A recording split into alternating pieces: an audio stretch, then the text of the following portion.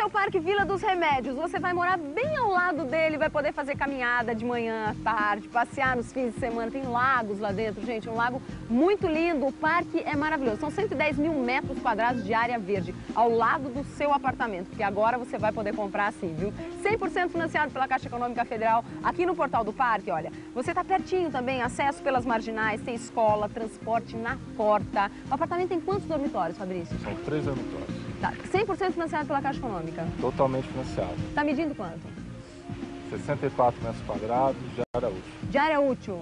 Tá, e aí vocês pensaram em algum lazer também aqui pro empreendimento? Total.